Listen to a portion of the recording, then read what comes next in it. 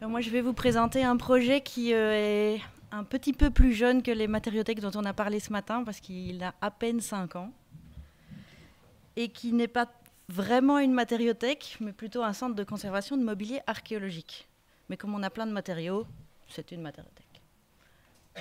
Alors, juste pour repositionner le contexte historique euh, pour les amis voisins, euh, la compétence archéologique est attribuée à la région wallonne depuis en 89 et euh, la compétence, si vous voulez, est répartie selon les provinces. Donc on n'a pas les départements chez nous, on a les provinces. Et chaque province a son service de l'archéologie, avec un service central, mais chaque province a son, son ou ses dépôts. Et donc on a des chiffres comme 5 provinces pour 12 dépôts régionaux de matériel archéologique, avec autant de pratiques différentes peut-être que d'archéologues, chacun avec ses techniques. Et... Euh, parfois pas beaucoup de standardisation d'une euh, province à l'autre. Et donc pour la gestion et la transversalité des collections, ce n'était pas toujours facile. Et dans la mouvance des textes euh, de la Valette, de toutes les réflexions qui, ont lieu en France, en faisant l'état des lieux de, nos dépôts, etc., l'idée naît d'avoir un, outil qui pourrait, qui pourrait servir à tous. Et donc, fin 2012, on entame la création d'un centre de conservation qui est temporaire avant d'en avoir peut-être un, plus pérenne, mais il fonctionne quand même. Voici deux illustrations de ce qu'on a pour l'instant, quand même un centre qui fait euh, près de 2000 mètres carrés, dont 1600 euh, mètres carrés de stockage.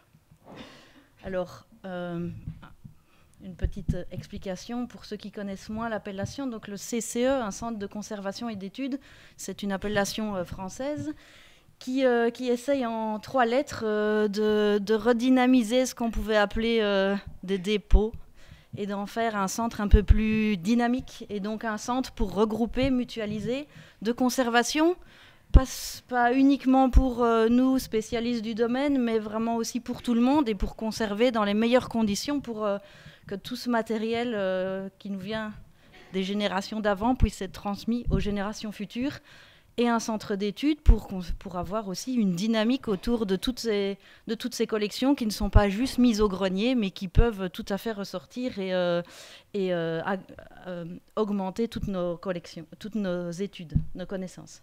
Et donc trois, trois objectifs principaux au centre de conservation et d'études, mais de normer les pratiques pour avoir une espèce de standardisation et que tout le monde puisse se comprendre, se parler, échanger de favoriser l'accès aux chercheurs et aux collections. Si tout est au même endroit, c'est beaucoup plus simple. Et de dynamiser la gestion des mobiliers. Quand on a tout sous la main et qu'on sait ce qu'on a, c'est plus facile pour le prêter et l'étudier. Et donc, une petite définition pour la conservation préventive, c'est quand même l'idée qui sous-tend euh, et qui est l'essence même d'un centre de conservation, c'est donc de préserver, et Gaël de Guichen dit toute action directe ou indirecte ayant pour but d'augmenter l'espérance de vie d'un élément ou ensemble d'éléments du patrimoine. Et donc augmenter l'espérance de vie, c'est ce qu'on cherche pour pouvoir transmettre ça aux générations futures, en prévenant dans la mesure du possible leur dégradation naturelle ou accidentelle. Et donc la conservation préventive, elle est vraiment là pour essayer de pallier à trois problèmes. C'est que restaurer le patrimoine, ça coûte très cher. Aucune restauration ne pourra rendre à, un objet son intégrité première, bien sûr, et la prévention peut permettre d'éviter toute action curative sur le patrimoine et donc éviter un coût. Alors, tout ça pour dire qu'il vaut mieux prévenir que guérir. Alors, le processus de gestion qui est mis en place au centre de conservation chez nous est en quatre étapes principales. Tout d'abord, le récollement, le constat d'état, un conditionnement adéquat et finalement le stockage.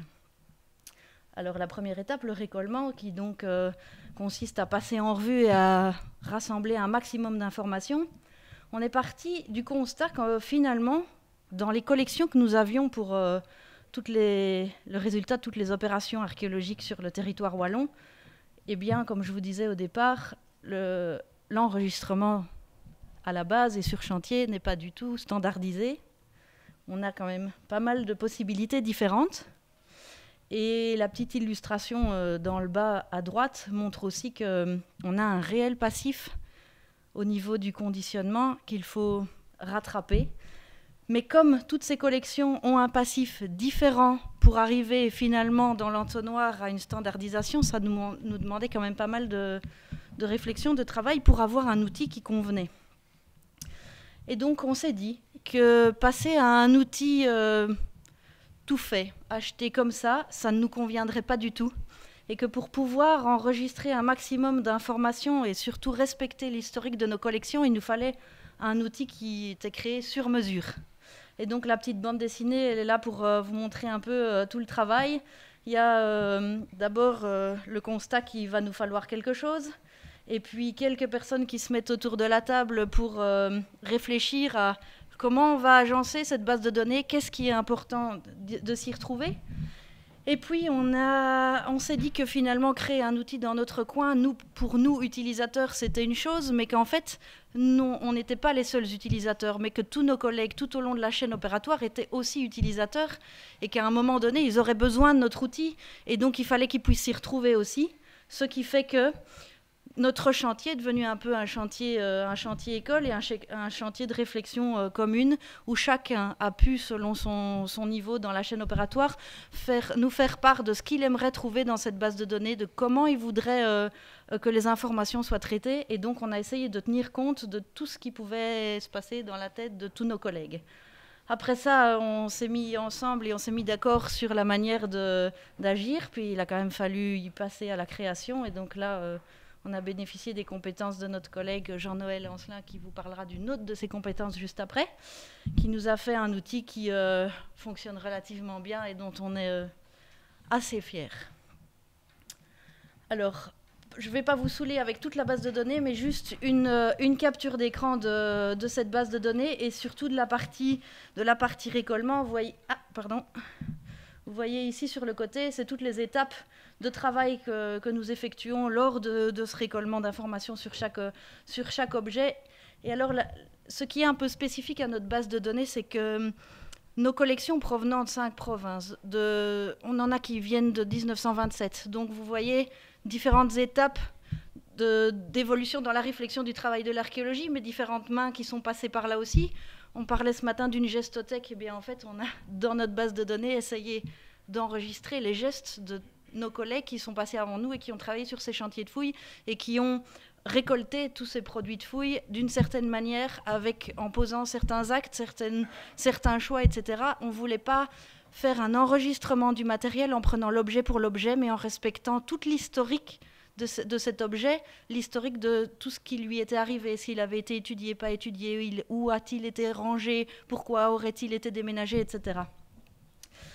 Euh, et donc, on a un outil qui nous permet, par exemple, quand on ouvre une caisse pour laquelle on va faire le récollement du matériel, on a plusieurs possibilités. Soit quand on ouvre cette caisse, on a l'objet qui est directement rangé dedans.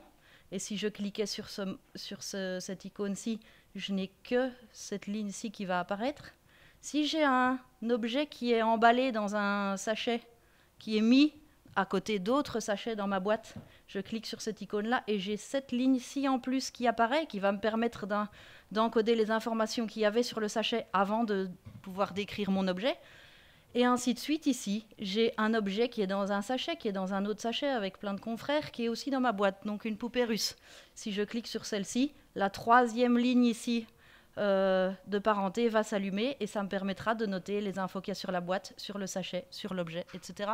Ce qui me permet d'avoir tout l'arbre généalogique de l'objet et, de pouvoir, si un jour un ancien... Euh, collègue qui est pensionné maintenant veut venir étudier sa collection et se souvient très bien que ce jour-là, il y avait du soleil, quatre ouvriers, et qu'ils ont prélevé euh, cette fosse-là et qu'ils l'ont mise dans un, dans un sachet qu'ils avaient récupéré chez Cora, eh bien moi j'ai ce sachet de chez Cora que je peux reconstituer pour lui remettre tout ce qu'il y avait dedans, même si les exigences de la conservation préventive m'obligent à séparer les matériaux.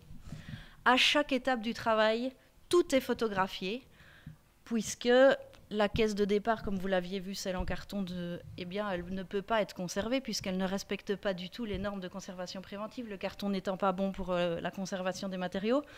Comme cela va être liquidé, on aura tout euh, photographié. Et donc, pour continuer cette page-ci, donc toutes les informations sont notées. À chaque étape, j'ai une photo. En plus, la base de données est tellement bien faite que quand je fais la photo ici, eh bien, la base de données va me dire exactement, quand j'aurai mon album photo à la fin, à quelle étape la photo aura été faite. Donc je saurai en plus pouvoir remettre les objets virtuellement chaque fois dans leur sachet. Et bien sûr, au moment où on parle de l'objet, eh bien, on va quand même indiquer le contexte, le numéro d'inventaire, etc., etc. Et donc, ça, c'était pour le récollement. Et un point fort aussi du centre de conservation, c'est de pouvoir faire le constat d'état des objets, ce qui est essentiel, de pouvoir euh, savoir ce qu'on a en main comme matière, son état de conservation. Est-ce que l'objet est fragile? Y a-t-il des altérations? Quel est le degré d'urgence pour la restauration? Tout ça va nous permettre de pouvoir faire un suivi sanitaire des collections. Soit elles arrivent et elles sont en bon état, et ça c'est génial. Normalement, comme on a des réserves climatisées, euh, les objets sont partie pour les générations futures. S'il y a des problèmes, on va pouvoir réagir. Et s'il y a un problème qu'on voit et qui est en cours, on aura suffisamment de photos et d'encodage que pour pouvoir suivre les altérations et pouvoir réagir au bon moment. Ça va nous permettre aussi de pouvoir donner des recommandations pour les manipulations si les objets vont partir en études, en exposition, euh, etc. Alors la troisième étape, ce sera le conditionnement. J'ai mis des matériaux aux normes et stables. Ça, c'est bien sûr une des recommandations de la conservation préventive, comme je vous disais. Tout ce qui est carton et autres, euh, papier journaux, papier toilette même, euh, boîtes non adéquates, etc.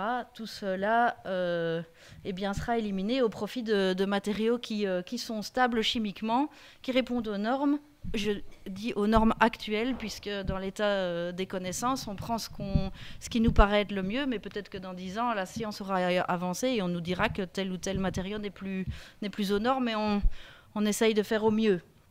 Voilà, et chacun de, ces matériaux va être euh, choisi pour ses aptitudes à protéger lors du stockage, c'est la première chose, mais aussi à parfaire les transports pour qu'il n'y ait pas de problème. Une, cruche qui part euh, en bon état et qui arrive en cinq morceaux à la fin, c'est pas du tout ce qu'on attend. Et, puis les matériaux qu'il faut pour que tout puisse être exposé dans de bonnes conditions. Le petit tableau qui est ici reprend les matériaux qui sont entre guillemets permis. Et c'est un petit tableau didactique parce qu'on a toutes les équipes euh, du département qui, qui passent ou qui repassent régulièrement pour euh, quelques formations, pour pouvoir intégrer aussi ces notions de conservation préventive et pouvoir les appliquer dès le chantier. Comme ça, toute la chaîne opératoire y gagne. Alors, quelques exemples de conditionnement. Donc, euh, on a plusieurs possibilités. Soit on fait un conditionnement spécifique à la pièce quand les pièces le, demandent. Ici, par exemple, en céramique, vraiment pour assurer la stabilité dans les boîtes et qu'il n'y ait aucun problème. Et quand on a un objet qui est hors format, pouvoir lui créer sa propre boîte, son écrin, euh, pour qu'il soit conservé au mieux et pouvoir être transporté sans, sans aucun problème lors d'une demande. Enfin, euh, le stockage est surtout rangé en rayon. C'est comme dans toute bibliothèque. Euh, un livre mis n'importe où, on ne le retrouvera jamais. Donc il y a un énorme effort qui est fait sur la, traçabilité, la localisation de chacune des pièces. Euh, petite parenthèse, pour quatre bonnes années de travail, on a quand même 42 000 items dans notre base de données qui sont enregistrés. un item, ça correspond soit à un objet, soit à un lot d'objets. Et donc à peu près pour 10 000 entrées par an dans la base de données, c'est sûr qu'il faut que la localisation soit la plus adéquate possible. Donc on a un système avec des lettres, avec des couleurs, etc. pour faciliter les recherches. Et donc notre credo, c'est que quand on nous demande quelque chose, entre, le moment où on reçoit la demande, on cherche, on trouve, en cinq minutes, l'objet est euh, identifié et localisé. Alors, tout ce travail-là, va dans un objectif, vers un objectif principal, c'est vraiment la traçabilité, ne pas devoir rechercher quelque chose partout. Et donc, il y a un enregistrement de toute l'historique de la collection. Historique à la fois quel chantier, mais aussi qu'est-ce qu'on a fait de ce matériel, a-t-il été étudié, a-t-il voyagé, etc. Tout ce, a, euh, tout ce que la collection a pu subir. Une grande centralisation du matériel, comme je disais au départ, pour ne pas devoir... Euh, déambuler dans le labyrinthe du service public de Wallonie et demander à tout le monde où se trouvent les choses. Euh, permettre le fait que tout soit centralisé et que tout soit vu, tout est passé en revue au moment du récollement, un, réel suivi sanitaire de, chaque, de chacun des items. et finalement, comme tout est au même endroit, pouvoir gérer de manière centralisée tous les mouvements de, ces collections. Et donc, petit résumé, le centre de conservation et d'études, j'ai agrandi le C pour montrer la centralisation, devient finalement une plaque tournante pour nos services, une plaque tournante qui va permettre à la fois aux chercheurs de pouvoir venir étudier du matériel, Normalement, tout le matériel qui intègre nos, réserves est, étudié, mais le fait d'avoir tout rassemblé au même endroit, ça permet aussi des transversalités dans les études.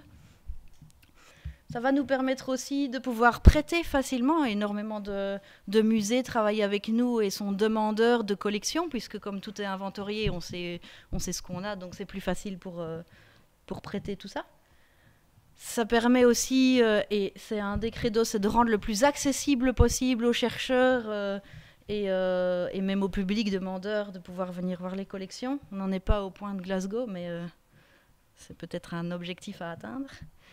Et l'objectif que nous, on aimerait bien atteindre, c'est que cette base de données soit en partie en ligne et pouvoir être accessible pour augmenter encore cette accessibilité pour tout, pour tout public.